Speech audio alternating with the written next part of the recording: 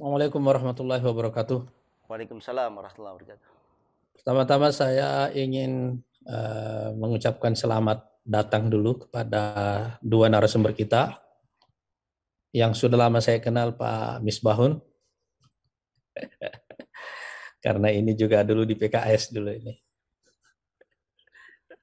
Kemudian yang baru kali ini saya sudah sering mendengar namanya Pak eh, Antoni Budiawan, tapi selamat bergabung di Gelora Talks sore hari ini. Kita bangga uh, Pak Antoni bisa bergabung bersama kita pada sore hari ini. Juga tentu saja host kita Pak Matnur dan insya Allah nanti ada ini kawan lama juga Pak Deni Daruri ini pakar perbankan ini. Eh, saya kira ada satu catatan yang menarik ketika di Davos kemarin. Uh, Henry Kissinger mengatakan bahwa uh, sebaiknya Ukraina segera berdamai dengan Rusia dan untuk itu harus bersedia membiarkan beberapa wilayahnya menjadi milik Rusia. Hmm. Sebab kalau perdamaian ini tidak dilakukan dalam dua bulan paling lambat ke depan, maka perang ini tidak akan terkontrol. Hmm. Nah, jadi kalau kita melihat uh, ini peringatan keras sebenarnya bukan soal perdamaian antara Rusia dengan Ukraina, tetapi ini satu fase yang diperingatkan oleh Henry Kissinger bahwa kita sedang memasuki situasi yang sudah tidak terkontrol. Gitu ya. Nah, kalau kita melihat tidak ada tanda-tanda bahwa perang ini akan berakhir seperti yang disarankan oleh uh, Henry Kissinger, karena beberapa negara, terutama Amerika, justru menambah uh, bantuannya ke Ukraina. Uh, begitu juga Inggris dan beberapa negara Skandinavia sekarang ikut mau bergabung ke NATO. Jadi tampaknya kita memasuki satu fase dari uh, situasi perang yang tadinya ini lokal, ini uh, tidak mustahil menjadi uh, perang besar gitu ya. Hmm. Apalagi panglima militer Inggris yang baru diangkat uh, uh, beberapa waktu lalu, pidato pertamanya justru uh, mengingatkan kemungkinan terjadinya perang eh, dunia ketiga. Hmm. Dan bahwa Inggris harus bersiap eh, berhadapan dengan Rusia secara langsung dalam eh, perang terbuka di daratan. Hmm. Artinya gejala-gejala ini semuanya menunjukkan bahwa tidak ada satu tanda bahwa perang ini akan berlangsung dalam uh, atau berhenti atau selesai dalam waktu dekat. Hmm. Ini kita bisa mengambil kesimpulan sementara seperti itu.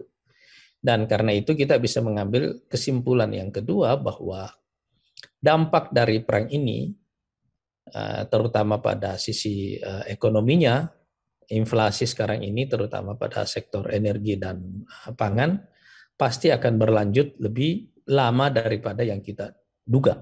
Hmm.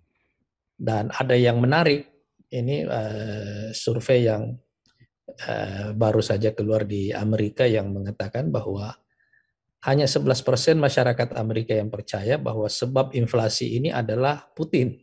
Hmm. Justru lebih dari 50% masyarakatnya percaya ini karena Biden. Hmm. Nah, kalau kita menarik satu garis dari sini, sebenarnya kita bisa memahami pernyataan atau analisis dari Bank Dunia dan IMF tentang kemungkinan kolapsnya beberapa negara karena tidak kuat bertahan di tengah badai uh, krisis ini. Nah, sebenarnya dari awal dulu kenapa saya mengatakan bahwa sejak pandemi ini akan berkembang menjadi krisis ekonomi, kemudian krisis uh, sosial dan kemudian krisis uh, politik, lalu ada kemungkinan kita tidak pernah tahu ini bisa berkembang menjadi perang terbuka. Hmm.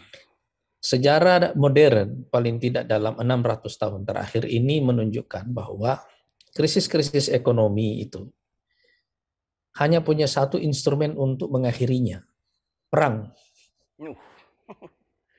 Ngeri. Gitu. Ya.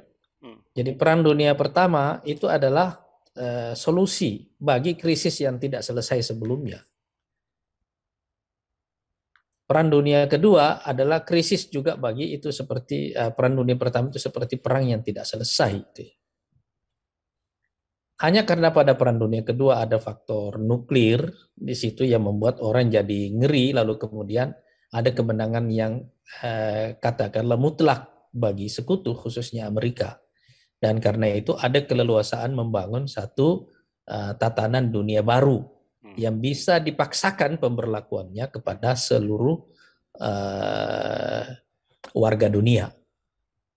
Kira-kira seperti itulah cerita awal lahirnya dari uh, sistem global ini.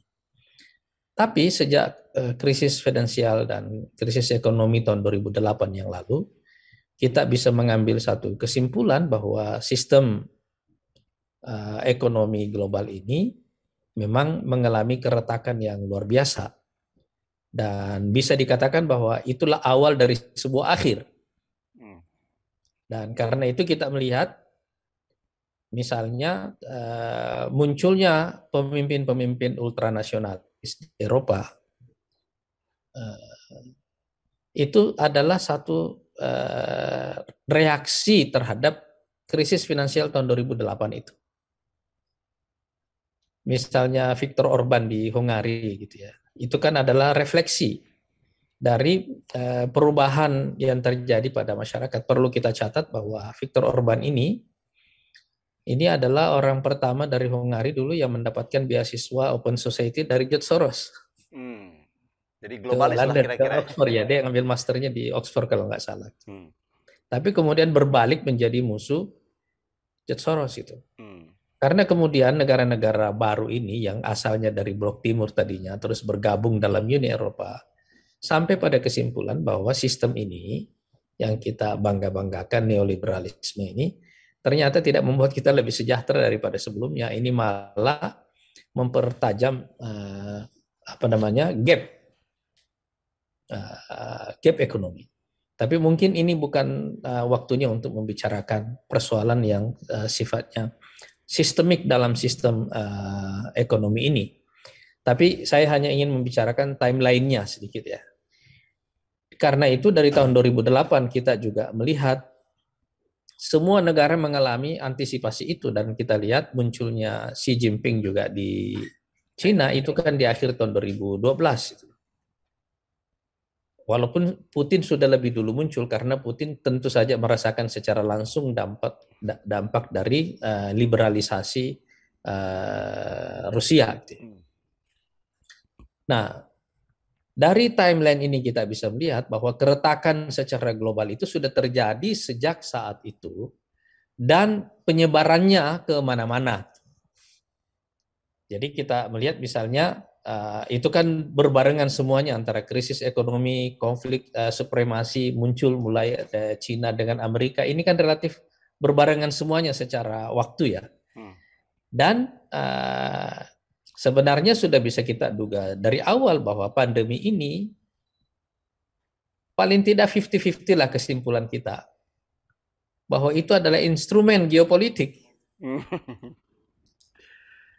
Menarik. Instrumen geopolitik yang memang bertujuan menghentikan proses deglobalisasi. Hmm. Iya kan? Hmm. Dan kalau kita lihat ini uh, perang Ukraina ini kan merupakan disrupsi terhadap pandemi ini. Karena tiba-tiba sebagai instrumen geopolitik Berarti, dia jadi hilang makna gitu kan. Iya. Pandeminya seolah-olah hilang.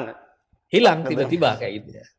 Kenapa hilang? Karena pengungsi di apa namanya orang sibuk melayani pengungsi Ukraina di Eropa dan dari mana mereka ngambil anggaran? Kan paling mungkin dari uh, apa namanya? Anggaran COVID. Relokasi anggaran uh, recovery COVID kepada uh, bantuan uh, pengungsi, iya kan? Ya. Tetapi kita mulai masuk di satu-satu tahapan sejarah yang sangat berbahaya bahwa krisis ekonomi ini tidak mempunyai penyelesaian ekonomi tapi diselesaikan secara militer. Inilah yang sekarang ini berbahaya dan kalau kita melihat Amerika dan sekutu-sekutunya ini menggunakan betul isu uh, perang uh, Ukraina ini secara domestik. Hmm. Iya kan? Hmm. Semua situ apa namanya uh, krisis ekonomi ini ditafsirkan sebagai akibat perang Ukraina, terutama inflasinya. Padahal sebenarnya nggak di situ. Ini krisis sudah ada sebelumnya, tetapi ini hanya menjadi trigger itu sebabnya kenapa saya mengatakan dari awal bahwa setelah pandemi ini akan ada krisis ekonomi karena ini memang membuka luka yang sebenarnya sudah ada. Hmm. Ini seperti api dalam sekam. Ini sejak 2008 ini sudah kelihatan. Cuma arahnya, ledakannya yang belum terjadi. Hmm. Pandemi ini meledakkan itu semuanya. Tapi kemudian perang Ukraina ini membuat disrupsi yang semakin mengacaukan situasi. Dan ini yang membuat kenapa orang sekaliber uh, Henry Kissinger mengatakan bahwa kalau dalam dua bulan tidak ada perdamaian, ini bisa keluar dari kendali. Karena sekarang kan secara uh, de facto yang lumpuh ini kan adalah lembaga-lembaga internasional seperti PBB, Dewan Keamanan, iya kan? Iya.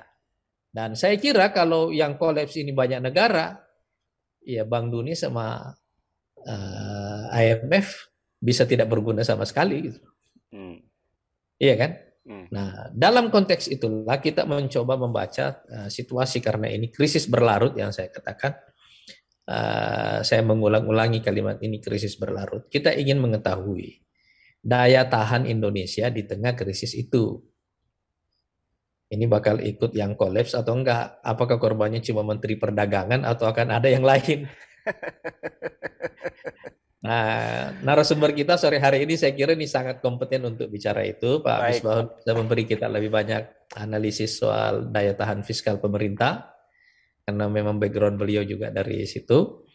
Uh, Prof. Antoni Budiawan mungkin bisa memberikan kita uh, dari sisi yang lebih makro ya, uh, soal daya tahan ini secara keseluruhan dan sebenarnya kita nanti uh, berharap uh, Mas Denny Daruri bisa bicara lebih banyak soal moneter gitu. Ya. Saya ingin mengucapkan terima kasih sekali lagi kepada narasumber kita, Prof. Antoni Budiawan dan Pak Misbahun. Uh, mudah-mudahan insya Allah Pak Denny Daruri segera bergabung. Ini menarik ya diskusi kita sore ini. Saya Pak Misbahun dengan Prof. Antoni sudah uh, pamit duluan ya. Yeah. Saya tidak ingin mengambil satu kesimpulan uh, atau penutup yang spesifik ya karena menurut saya penjelasan tiga penjelasan ini uh, ada di uh, jalur yang agak berbeda gitu ya. Hmm. Prof Antoni tadi menjelaskan dengan baik uh, alasan mengapa kita harus sangat berhati-hati untuk tidak mengatakan bahwa beliau uh, pesimis karena memang krisis ini uh, secara ekonomi pun memang itu sistemik ya. Misalnya ketika beliau menjelaskan soal bahwa inflasi ini tidak sebenarnya dipicu oleh perang yang ada sekarang, memang sudah ada uh, sebelumnya gitu. Intinya ada ada bubble dalam ekonomi yang sekarang ini harus uh, meledak. Gitu. Tapi solusi tentang nasionalisasinya Bang Denny ini ini solusi yang radikal. Gitu. Ini solusi yang radikal dan ini menarik gitu ya. Karena pada dasarnya nanti eh, kita mesti membuka solusi-solusi ini sebagai wacana eh, perdebatan ya. Karena pada akhirnya menurut saya eh, ketika kita akan menghadapi konsolidasi setelah krisis besar ini nanti berlalu, pertanyaan besarnya adalah model ekonomi macam apa yang akan kita pakai gitu. Kira-kira modelnya akan apa namanya pertanyaan filosofisnya akan ada di situ ya. Sekarang ini kan krisis ini akan menantang semua model ekonomi yang ada, Barat maupun uh, Cina atau Rusia kan. Dan kita akan melihat mana di antara mereka yang bertahan di tengah krisis ini. Jadi solusi-solusi ini solusi yang kita buka sebagai sebuah kemungkinan kita buka seluas-luasnya dulu gitu ya. Kita buka seluas-luasnya dulu sebagai wacana karena uh, krisis ini Eh, penuh dengan ketidakpastian dan arahnya itu ada satu kaidah dalam sejarah yang kita pahami bahwa ketika krisis itu terjadi, krisis punya kaidahnya sendiri yang tidak bisa dikendalikan oleh mereka yang merencanakannya atau tidak merencanakannya itu. Nah, kaidah-kaidah tentang krisis itu tidak bisa kita. Dia akan uh, kita bisa membuat misalnya uh, antisipasi terhadap datangnya bencana alam, tapi begitu bencananya terjadi, kita sebenarnya tidak tahu persis apa yang uh, terjadi kecuali setelah dia terjadi itu. Jadi situasi ini kita ya, kita simpan. Saya kira yang catatan saya yang penting di sini justru adalah sikap eufemisme terhadap beban yang dirasakan rakyat atas krisis ini memang ada satu hal yang menarik di Indonesia bahwa struktur sosial kita dengan uh, konsep uh, apa dengan budaya extended family begini ya. Kalau dalam satu keluarga ada satu yang bekerja, misalnya bapak ibu terdiri dari lima anak misalnya, satu anak yang bekerja, empat anak yang menganggur, yang satu ini menanggung beban yang lainnya. Itu tidak berarti bahwa orang tidak miskin. Orang miskin, dan itu tidak ditanggung oleh negara, ditanggung oleh saudaranya sendiri. Jadi kita jangan mengatakan bahwa kemiskinannya tidak ada semata-mata karena dampaknya terhadap pemberontakan itu tidak ada. Iya kan? Iya. Yeah. Itu jangan dulu, itu sikap eufemisme yang berbahaya. Hmm. Memang kita punya kelebihan itu, kita punya kemiskinan, tapi kita punya mekanisme sosial menyerap dampak dari kemiskinan, bukan menghilangkan kemiskinannya. Justru yang harus kita pikirkan adalah bagaimana menghilangkan kemiskinannya. Bukan sekedar menghilangkan dampak. Sama seperti kalau kita mengatakan bahwa bansos bisa menghilangkan, menyerap dampak dari pengangguran misalnya, atau beban hidup yang terlalu berat, kenaikan harga-harga, bisa diserap dampaknya dari eh, apa namanya dari bansos misalnya. Tapi bansos itu bukan solusi permanen kan? Iya kan? Nah, jadi ini harus kita lihat sikap eufemisme menghadapi ini menurut saya itu uh, tidak menyelesaikan uh, uh, masalah. Walaupun kita beruntung bahwa konsep atau budaya uh, extended family itu membantu kita menyerap dampak dari kemiskinan, tapi itu bukan solusinya. Saya ingin berterima kasih kepada semua narasumber kita khususnya Bang Denny yang datang terakhir, pulang terakhir juga. Ini. Udah benar berarti Bang, datang Udah terakhir benar ya, juga kepada teman-teman media yang mengikuti diskusi ini dengan uh, sabar dari awal. Mudah-mudahan pendekatan literasi uh, Partai Gelora ini dari waktu ke waktu kita rasakan manfaatnya, membantu kita memahami masalah secara uh, lebih baik. Terima kasih juga untuk host kita Pak Mat Nur dan seluruh sahabat Gelora yang mengikuti acara ini melalui uh, streaming. Assalamualaikum warahmatullahi wabarakatuh.